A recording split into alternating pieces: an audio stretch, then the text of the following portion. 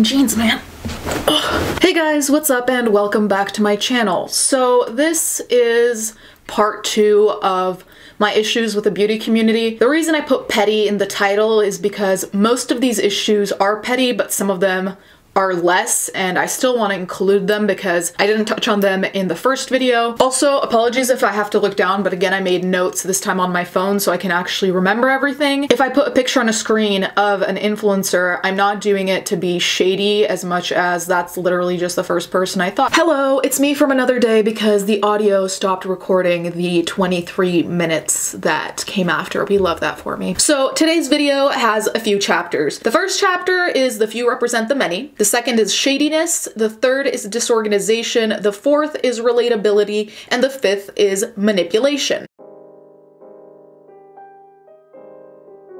This point was actually made to me by someone who does makeup and they will be linked down below as well. But they did voice to me that the few represent the many, right? So this goes for a number of communities. I'd say the majority of communities. And when I say the few represent the many, I mean that when I talk about the beauty community, I talk about the people who could be considered at the top of the community, such as Jeffree Star, James Charles, the people we constantly hear about, right? So when I talk about the beauty community, I'm talking about them when I say the beauty community, I'm really talking about the people we hear about all the time of being in drama. I'm not talking about separate artists who really are there for the artistry, but nonetheless, it can give them a bad name because the beauty community has kind of a stigma to it now where it's equated to a drama community in some ways because there's always some shit going on between the beauty gurus that we constantly hear about. And that is an issue in its own way because then some artists who really are just there for the artistry don't feel like they're part of the community because they're not these millionaires who are in drama all the time.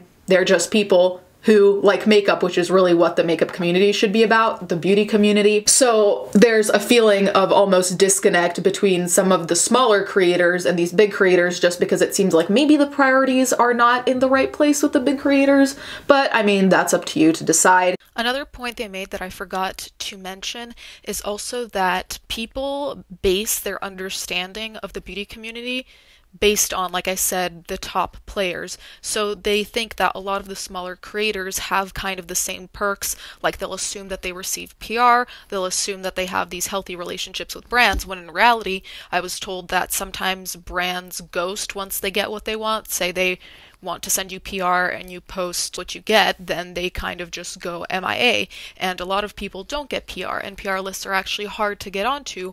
But since we see these top creators who just kind of show it as if it's an everyday thing, then people are like, oh, everyone gets PR. And this is valid for myself as well. I'm not a beauty person, but people tend to think I know a lot of YouTube people, which I don't. I'm on a speaking basis with very few YouTubers. Like, there is a very small sense of community in my opinion, and that's also kind of what I got from the creator I spoke to. Uh, but I do think this problem is particular to the beauty community in certain ways because, of course, every community has its shitty people, but I feel like the beauty community at this point is known for its toxicity in a lot of ways. And I can understand why an artist would hate that because it's like when I hated when the outside world kind of painted Jake Paul as every YouTuber. I don't want to be associated associated with Jake Paul. I have nothing in common with him except for the fact that we're both breathing and we're on this platform. That's it. But I wouldn't ever want to be painted like someone who's associated with him, if that makes sense.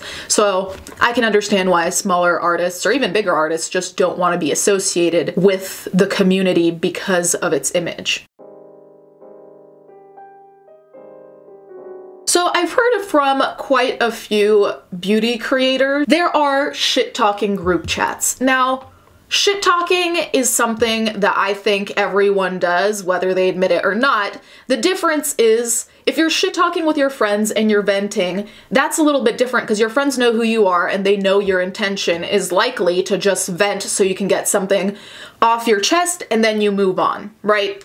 However, a lot of these group chats apparently are with other influencers that pretty much just follow each other, so they don't necessarily know each other, they're not necessarily that close, but they might shit talk other influencers. So it's essentially colleagues talking shit about other colleagues. This probably isn't exclusive to just the beauty community, but that's what we're focusing on here, especially because I do feel like a lot of people within the community tear each other down. So there's definitely a lot of shadiness going on in those group chats, and it kind of fuels a certain level of toxicity because it's like all these people talking shit and kind of egging each other on to continue talking shit. You don't know what their intentions are, and at some point, it's just dumb because anyone in the group chat could just screenshot it and leak it or send it to the person you're talking about, you know? So it just seems dumb from even a business perspective where you might get outed for the shit you talk. So morally, it's obviously wrong, but even just from a business point stance, you're screwing yourself over. Aside from that, with shadiness, we also have cancel culture versus accountability. So the difference between cancel culture and accountability for me is that accountability indicates that there is a possibility for betterment and potentially, depending on your opinion, redemption. Cancel culture, on the other hand, pretty much turns it very black and white where it's like this person fucked up, that's the end, they can never be forgiven, they can never grow from this, nothing good can really come of it. And of course, there are some things that maybe are unforgivable to you and me, so I'm not saying everyone has to be forgiven, but I'm just saying there should be an option to work on yourself and for people to make steps in a positive direction. However, in the beauty community, it's like when anything happens, people are screaming like, is this person canceled? Is this person done forever?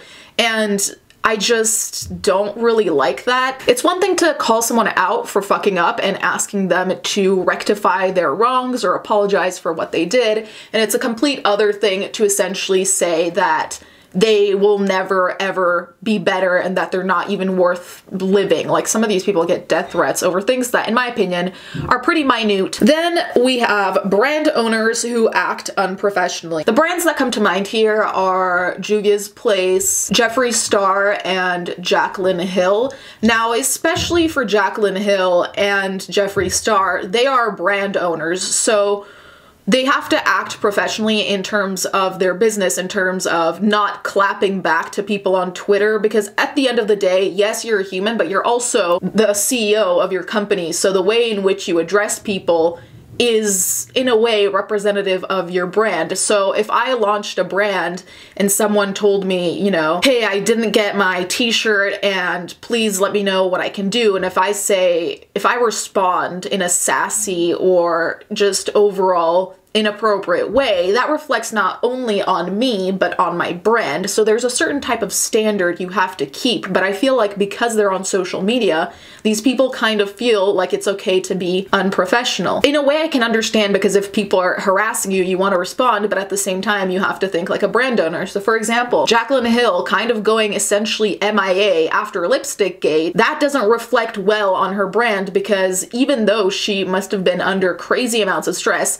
I can't can't imagine, it's also like your brand still exists. Like it's not just you disappearing, it's you with your brand. So you can't just up and leave. And this also applies to Juvia's Place when they were calling people out. I think it was on their Instagram and going on these rants. And it's like, this is not appropriate. This actually leads to my next point in the shadiness section, perpetual drama. Because certain people don't act professionally and because people are so obsessed with canceling other people, there's always some shit going on. There is no slow day in the beauty community, mainly because people will take really small things and blow them out of proportion. Like I see drama being made out of things that don't need to be drama. Example, if I were a beauty creator and I had a problem with another beauty creator, the ideal thing would be for me to message them privately, we have a conversation, and then we try to squash it, or at least have a conversation and clarify. Ideally, that's what would happen. The world we're in now is more like I'm gonna post a public tweet and at them or not at them and let people guess,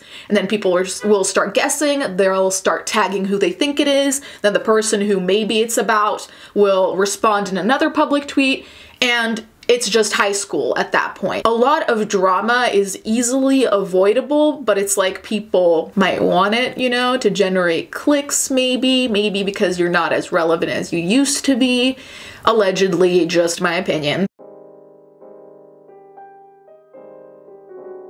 One is a little bit petty on my end, but this bothered the shit out of me, so I'm just gonna say it. The Norvina PR search on Twitter so, if you don't know, Norvina from Anastasia Beverly Hills did a PR search where essentially artists could show her pictures of their work and essentially give a shot at getting Anastasia Beverly Hills PR. Now, I don't follow that many makeup artists on Twitter just because I prefer Instagram, no real big reason. And even I had my timeline absolutely swamped swamped with people tagging Anastasia Beverly Hills and Norvina to be noticed, putting their looks under every single Norvina tweet. Like it was madness. Like I could not even see what my friends were tweeting because there was all this shit. Now, of course, I could unfollow, but I didn't. This to me came off as disorganized because as much as I like social media and I think it's great in order to show your talent and maximize the people who see it, how hard would it have been for Norvina to set up a website where you can submit your work and then you can plug your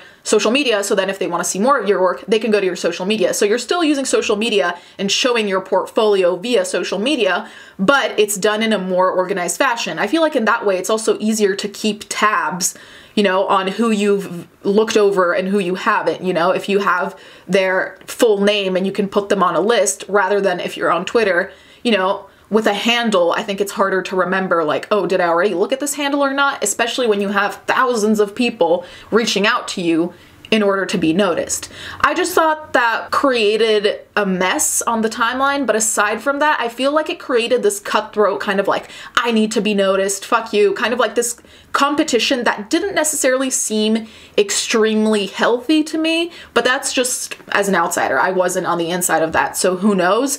And I'm all for smaller creators getting attention, but it's like surely there was a better way to do it than via Twitter. Then aside from that, this connects to a point that I had made in my prior video where I was saying that a lot of brands were just releasing a lot of products back to back, and specifically with Anastasia Beverly Hills, it felt disorganized because it felt like they didn't plan each palette to have its moment. You know, like ideally you want a product to have its moment so you can hype up, then when it comes out, you can like show reviews and you can let it have its time, you know? With Anastasia Beverly Hills, and there are other brands that I could name, it just seemed like everything came out. Now, mind you, I know some shit was leaked, so some of it wasn't timely, but even with the Alyssa Edwards palette, then there was Jackie Aina and Carli Bybel, I can't remember in what order, but I remember that I barely realized that the Alyssa Edwards palette came out and I only knew because my friend told me. Other than that, I wouldn't even have known because I feel like there was so much being released that none of these had their own moment. It was just like, here's one palette, here's another one, here's another one. And that seems disorganized to me because it's like,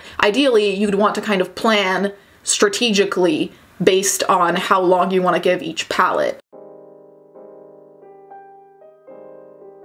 some people become successful and they lose their relatability and forget that their supporters got them there. Almost like a false sense of security of like, oh, I don't need anyone. I did this all by myself. And as much as, yes, the creators put in work, it's also like you need to remember that your subscribers, your followers, whatever it is, are the ones who got you there. But it seems like sometimes people take it a little bit too much for granted. Creators desperately try to stay relatable in the same way as they were before, even though realistically things have changed. Like, you're not the same person because now you're a millionaire and now you live in a million dollar house and your life isn't the same, and that's fine. I personally am happy when the creators I enjoy are successful. I have no issue with that. I don't like when they pretend to be broke or pretend to have less money or pretend that their life hasn't changed because some people stay relatable. I don't know what category Jenna Marbles would be in terms of community, but I feel like she's stayed relatable even with her massive success, right? But there are certain people who have changed, and that's not necessarily always a bad thing, but I think it's silly to pretend like no change has happened. Like, I know these are people who aren't necessarily in the beauty community, but I know a lot of people were coming for Emma Chamberlain because they said she changed. Honestly, I do think she changed, but I don't necessarily think it's for the worse. It's just like she's in a different place. She might have grown, you know? I don't really follow her content, but I know about what people are saying. And I know that a lot of people have this issue with Shane Dawson. Now, I guess he is part of the beauty community now. I don't want to go into my opinion because I don't think it's very popular, but anyway, a lot of people are bothered by the fact that Shane acts like he's poor, especially around Jeffree Star, like wearing his ripped shirts and stuff like that. And I know a lot of people are annoyed with it because it feels a little bit like a gimmick to be like, oh, I'm not rich, I'm just like you. And it's like, the reality is, we're happy for you, dude. We're happy that you have money. Let's just not pretend like that's not the truth because then it just seems kind of disingenuous. Some creators have been in the crossfire because it seems like they only film videos at this point to sell things. So the irony is YouTubers kind of don't make YouTube videos anymore. There are a lot of larger beauty creators who essentially only come in and film videos when they're selling you something. So there are some people where it seems like the only reason they're filming the video is because maybe they have a new affiliate code with Morphe, maybe they're releasing releasing their own palette and they only really film when something is happening that would benefit them, if that makes sense. And mind you, it's normal to want to film about the launch of your product, but it might seem a little bit more calculated when that's pretty much the only times you film. I do think that is manipulative because the idea of YouTubers doing YouTube is because they're doing something they enjoy. So with the beauty YouTubers, they're doing their makeup because they enjoy doing their makeup, right? Ideally, when a YouTuber comes on screen to say, hey, I'm talking about this makeup brand, it's because they're excited and they want to share it with you. But when they time it in such a way where it seems like they're trying to sell you something, it just seems manipulative to me, just kind of like, oh, I'm making this content for you, but also not really because I'm making it because Morphe, Morphe, Morphe, right? Another aspect of manipulation comes in when creators don't want to take accountability for their actions. Now, we all know, we have all seen the beauty guru apologies where they essentially don't really apologize, but rather play the victim card, you know, great hoodie, no makeup, I'm in a dark place, whatever. And as much as I do believe that it must be extremely overwhelming when you have a lot of people hating on you, it's kind of like when Lipstick Gate happened with Jaclyn Hill and her fuzzy lipsticks. She kind of went MIA and didn't really take accountability for a while, and maybe to this day, that's up to you to decide. It was manipulative in a certain way because she kept going on about how she had anxiety and how she it was hard for her to film or she was scared to film. And as much as I think these things are true, she probably did have anxiety, she probably was scared to film. I can not imagine what she dealt with. At the same time, if you fucked up and you have kind of yet to rectify your wrongdoing, saying that you're anxious and stuff like that seems like you're making people want to pity you rather than take accountability for what you did. And like I said, it's not mutually exclusive. It's not like you have to apologize or you have to have the feelings you have. You can have both, but the reality is, no matter what you're going through mentally, the situation is what the situation is. And as much as mental health issues are not your fault, they are your responsibility. So just because you're anxious or just because you're depressed or whatever else you have, that doesn't justify shitty behavior. You know, like I'm depressed, I have a disorder.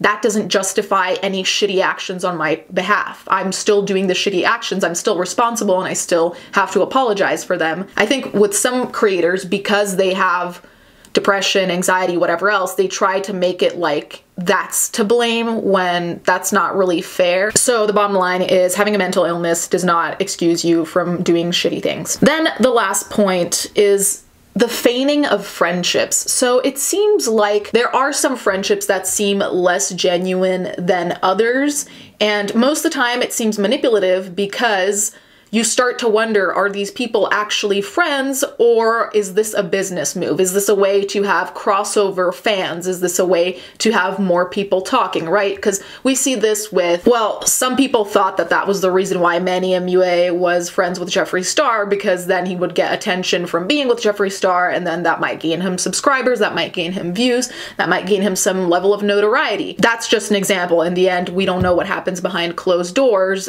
but there are certain people who seem to be very strategic with who they're quote unquote friends with. But the reality is, there's also a lot of fallout very often, and friends do fall out. But if it's always the same people who fall out with other people, you start to wonder is this person toxic, or maybe is this person just using this to get clicks? It's manipulative because they're trying to convince you of a reality that might not even be the reality. And aside from that, it's also like you can use a creator to better your image, you know? Like if you were in a scandal and then all of a sudden your friend friends with a wholesome creator, does that help you? Probably. Or if you're not feeling like you're relevant as you were, if you befriend a creator who's in scandals all the time, would that get you attention? Yeah. So I do think that a lot of these beauty people really do make strategic choices as to who they're friends with friends. Anyways, guys, let me know what you think in the comments down below. Let me know if there are other issues that you think I should address. Thank you guys so much for watching. Thank you to my patrons as always, and let's get right into the fan art.